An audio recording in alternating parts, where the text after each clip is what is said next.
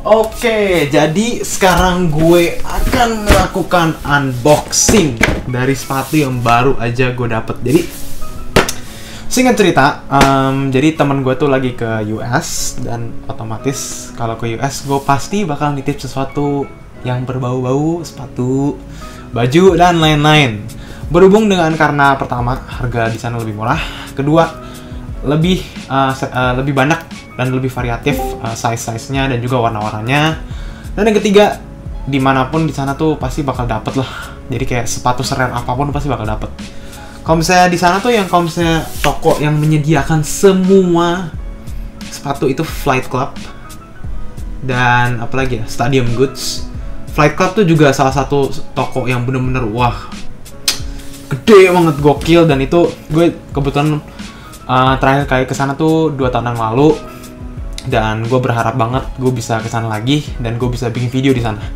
Tapi yang jelas ini bukan di Fight Club, ini jadi gue nitip temen gue di New York. Ini belinya di Foot Locker. Nah, apa itu Foot Locker? Foot Locker adalah salah satu toko olahraga yang menyediakan sepatu, apparel basket dan juga um, Jordan gitu ya, basket. Basically everything that um, have a connection in sports. Yang penting olahraga lah. Oke, so um, kita akan buka dulu. Ini dia sepatunya. Nat, tuh tuh, nah, bentar gua kasih lihat dulu. Ini gue nggak tahu kenapa ini tapi dia ngasihnya di kantongan Nike anjir padahal ini sepatunya Adidas. Oke, so here we go. Ini dia sepatunya. Jadi sepatu yang gue beli ini adalah kalian bisa lihat dari kotak ini Ultra Boost. Tapi apakah ini Ultra Boost biasa? No, ini adalah Ultra Boost Laceless. Ini dia. Gue beli dengan harga 200 dolar. Kalian bisa lihat di situ.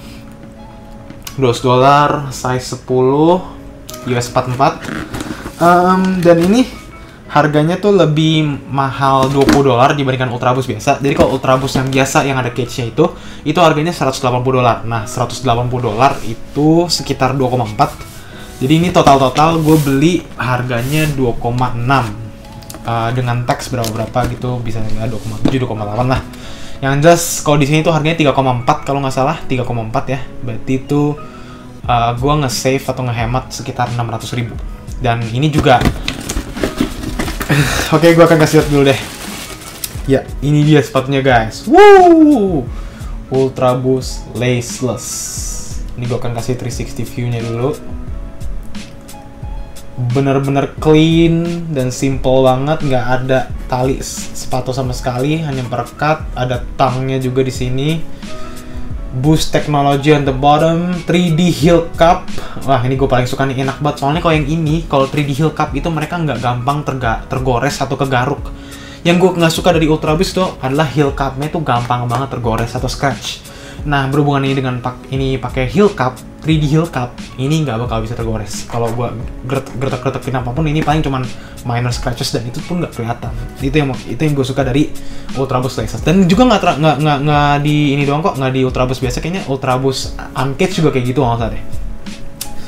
Oke, so here we go, here it is. Ultra Boost Laces. Jadi ini eh, sekali lagi gue bilang, gue beli dengan harga 200 dolar, sekitar 2,6 juta, 600 ribu di bawah, eh 800, iya 800 ribu malah, 800 ribu di bawah harga sini. Di sini tuh gue lihat di pasti di Adidas Plaza Indonesia dan juga Adidas Senayan City itu mereka pasang harga di 3,3999 atau 3,4 kalau nggak salah ya. Jangan salahin gue kalau misalnya gue salah ngomong, yang jelas gue inget banget mereka punya. Cuma, oh iya sama Dose Senayan City juga ada. Hmm. Cuma yang walaupun mereka tuh sebenarnya nyetok Adidas Laceless, cuma mereka tuh nggak ada size yang warna hitam. Adanya buat cewek doang. Itu cuma size 38. Kalau buat cowok tuh mereka cuma punya warna biru sama hmm, sama abu-abu kalau nggak salah. Jadi kalau yang ini mereka nggak ada. Nah, makanya itu otomatis gue langsung lihat ke Foot Locker. Foot Locker dulu. Nah, ini enaknya Foot Locker tuh jadi kalian bisa nge-search uh, sepatunya. Sepatu yang yang lagi rilis ya. Misalkan ini kan Ultra Boost Laces nih. Gue search Ultra Boost Laces warna hitam. Eh, misalkan gue nemu Ultra Boost Laces, oke gue pencet dan itu ada tulisan apa warnanya, gue pengen warna apa, gue pengen warna hitam dan size-nya warna apa, eh, size size apa, size 10 dan ntar bakal di list tuh di mana yang menyediakan sepatu itu. Jadi enaknya itu, jadi semoga banget bakal ada Foot Locker di Jakarta yang gampang banget nyari sepatunya. Tapi em, selama Singapura belum dapet, kayaknya Indonesia nggak bakal dapet deh. Itu prinsip gue selama hidup. Kalau Singapura belum dapet, Indonesia nggak belum bakal- belum. Indonesia pasti belakangan lah. Jadi itu yang ada yang ada pikiran gue. No offense, that's what I'm saying. Oke, so jadi ini eh, sepatunya itu kan ada Ultra Boost Lexus dan ini gua kebetulan punya Ultra Boost yang lain. Ini gue punya dua Ultra Boost yang masih brand new. Oke guys, jadi di sini gua kebetulan bentar gua agak biar lebih gampang nih. Jadi di sini tuh ada tiga Ultra Boost yang gue punya. Jadi yang pertama ini adalah Ultra Boost Lexus yang tadi. Gue akan taruh dulu di sini nih biar gampang. Oke, dan setelah itu di sini kita ada Ultra Boost yang kedua yaitu Ultra Boost yang biasa. Ini kebetulan Ultra Boost eh, ini silver medal. Yang jelas gue mau ngasih lihat perbedaannya antar Ultra Boost eh, dari tiga Ultra Boost ini ya. Dan yang terakhir gue ada Ultra Boost Uncage. Ini kebetulan masih baru semua, kecuali yang ini nih udah dipakai beberapa kali. Oke, so em, kalian bisa lihat ini perbedaannya dari tiga ini itu adalah yang paling signifikan itu yang Ultra Boost Laces tidak mempunyai uh, tali sepatu. Dan kalau misalnya kita lihat yang Ultra Boost biasa, itu mereka um, Primate patternnya juga beda. Walaupun sama Ultra Boost Uncaged tuh agak-agak mirip gitu ya. Mereka ada mereka ada uh, ini nih kayak bolong-bolongannya nih di sini. Dan kalau tapi kalau misalnya perbedaan paling signifikan adalah um, Ultra Boost Laces tidak memiliki lace atau tali sepatu. Kalau misalnya kita lihat dari ini perbedaannya, misalkan em, kalau Ultra Boost yang biasa tuh kan mereka ada cage-nya ya, dan mereka tuh ada three stripe-nya tuh. Ini menandakan Adidas nih, three stripe.